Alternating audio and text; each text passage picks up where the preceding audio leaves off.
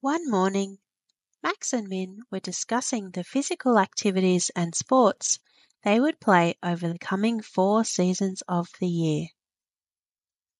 Max was saying, during the summer season, that is, in December, January, and February, it will get quite sunny and hot, so I think we should join the swim club again and go for those early morning swims.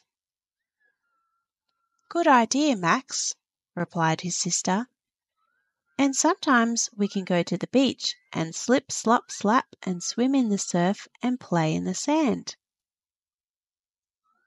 Max continued, After summer comes autumn, in March, April, and May, when the weather starts to cool down a bit and we start to get some cold rains. What do you think we should do then? Well, replied Min, perhaps we could go to the sports club and join a basketball or indoor soccer team. That sounds good, Min. Let's do that.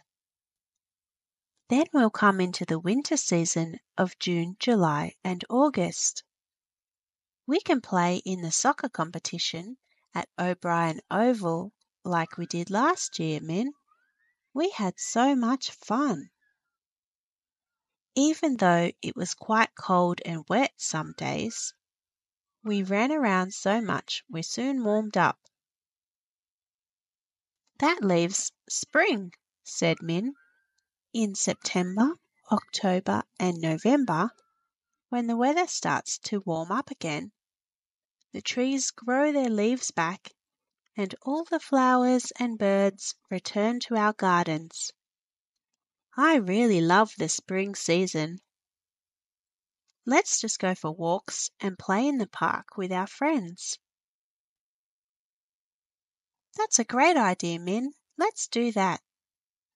By the way, did you know that because Australia is in the southern hemisphere, that is, in the bottom half of the earth, our seasons run opposite to those in the northern hemisphere.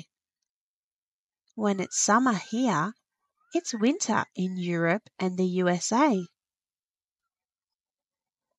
With that final comment about the four seasons, Max checked the time on the analog clock on the wall.